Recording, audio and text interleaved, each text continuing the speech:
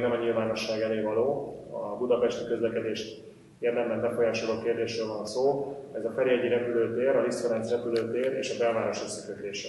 Ez azért fontos, mert ez részben ugye, érinti az elővárosi vasutak működését is. Körülbelül 100 milliárd forintunk van a jelenlegi állás szerint arra, hogy Budapesten elővárosi beruházásokat hajtsunk végre.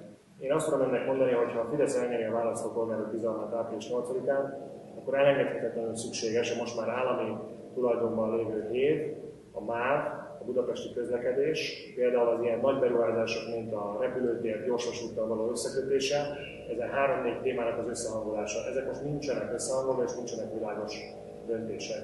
Mi támogatjuk a metróvonalak felújítását, de új metró építését nem támogatjuk.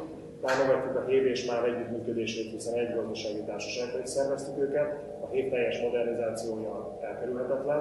Nekem az a személyes véleményem, aki foglalkozom közlekedési kérdésekkel kormányzati koordinációs munkám során, Budapest közlekedési problémáira az elővárosi vasútrendszer volna a megoldás, hogy ez most hév modernizáció, MÁV alapon működjön, vagy teljesen új rendszer legyen, ezt nem tudom megmondani, de ez 300 milliárd, 1 milliárd euró alaphangon, hogy ebben érdemi eh, változás legyen. És akkor vannak ilyen nagy kérdések, hogy eh, a agglomerációból hogyan lehet a munkaerőt, vagy hogyan lehet a szolgáltatást igénybe vevőket, vagy az iskolába járókat, kórházba menőket jól beszállítani a városba, és akkor ott van az előbb említett közlekedési csomópont, mint a Ferihegyi repülőtér, ott van a keleti pályaudvar felújítása, a nyugati pályaudvar teljes megújítása. Számos nyitott kérdés van, biztos vagyok benne, hogy ha a Fidesz elnyeri a választópolgárok bizalmát, a budapesti közlekedés újjászervezése és támogatása, modernizálása az egyik legfontosabb kérdés annak, a, annak érdekében, hogy a város még jobb és még élhetőbb legyen.